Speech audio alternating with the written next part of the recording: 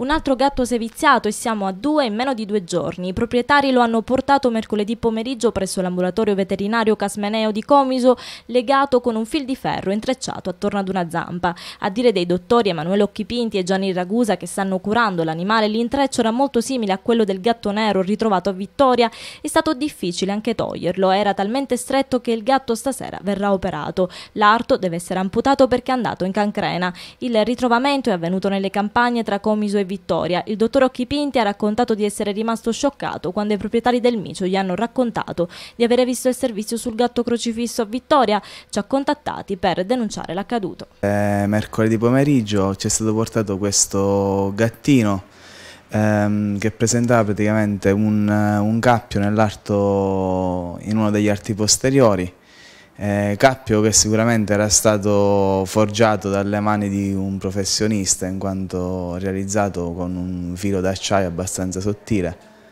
È impossibile da levare per il gattino, i proprietari hanno, tro hanno trovato il gattino eh, che era scomparso da circa 24 ore nel, nelle campagne tra Comiso e Vittoria. Sicuramente mh, perderà l'arto interessato dal cappio in quanto la circolazione è venuta a mancare, si pensa, per un arco di tempo che va dalle 24 alle 48 ore appunto.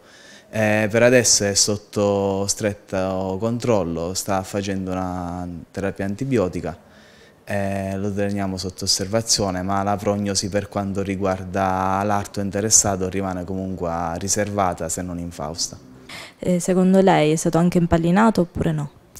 Ma mm, non abbiamo mm, fatto nessun tipo di controllo in questo genere sull'animale, in quanto l'animale comunque non, non, presenta segni di, di, possibili pallini nel corpo. Eh, comunque mm, Mm, non so se, se due episodi possono essere correlati. È vero è che ogni anno nell'approssimarsi della stagione venatoria appunto questi eh, atti in, in, un certo qual modo aumentano, quindi non, non so se po possono essere correlati due episodi. Voi avete mai ricevuto degli animali impallinati qui in ambulatorio? Eh, sì, fino a ieri ci è arrivato un, un cagnolino impallinato dal proprio proprietario mentre cercava di prendere un coniglio.